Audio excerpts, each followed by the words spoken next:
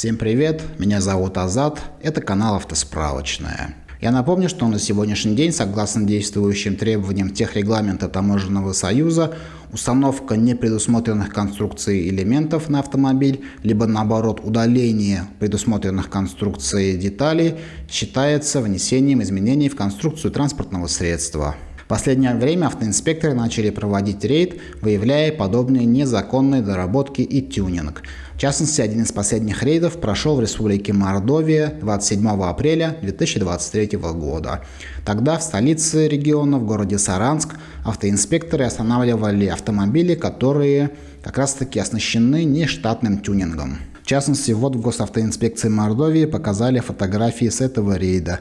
Вы можете видеть на первой фотографии то, что в картах дверей встроены огромные динамики, которые явно не предусмотрены конструкцией. На втором фото вы видите автомобиль «Газель» с нештатным светом на крыше. Здесь автомобиль ВАЗ-2104. Здесь я, честно говоря, даже не знаю, в чем может быть изменение конструкции. Подозреваю, что внимание было обращено либо на дворник, который находится в вертикальном положении, либо на замененный задний бампер. Что же здесь, по мнению ГИБДД, стало изменением конструкции, вы можете поделиться в комментариях. Будет интересно почитать. Следующее вы видите фотографию автомобиля УАЗ. Судя по всему, это буханка. И посмотрите, как доработана передняя оптика этого автомобиля. И последнее фото, опять еще одна «Газель», у которой на крыше установлена целая люстра. Если обратить внимание, стоят четыре прожектора, а также стоит огромная светодиодная балка под ними.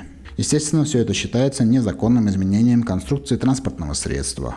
Я напомню, что в случае выявления подобных нарушений они подпадают под статью 12.5 КОАП РФ. В данном случае штраф составляет 500 рублей.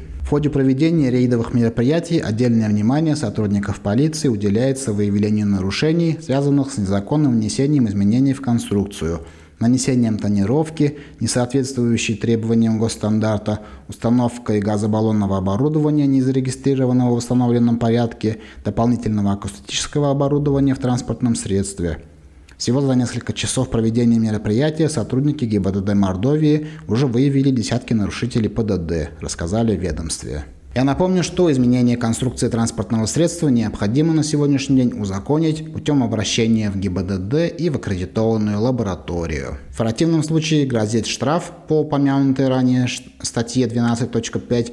Кроме того, сотрудники ГИБДД могут выписать требования сотрудника полиции об устранении выявленных нарушений. Если же конструкцию транспортного средства после этого не узаконить, либо не привести в стандартное состояние, то это грозит прекращением регистрации в ГИБДД ГИБДД. Вот такая вот информация. А если вам нужна помощь в регистрации изменений конструкции транспортного средства в ГИБДД, вы можете воспользоваться полезной ссылкой в описании под этим видео. Спасибо, что досмотрели его до конца. Проводятся ли подобные рейды в ваших регионах? Сталкивались ли лично вы с ними? Если у вас такие изменения конструкции, этой информацией и своим опытом вы, как обычно, можете поделиться в комментариях. Желаю всем безопасных дорог и всем удачи!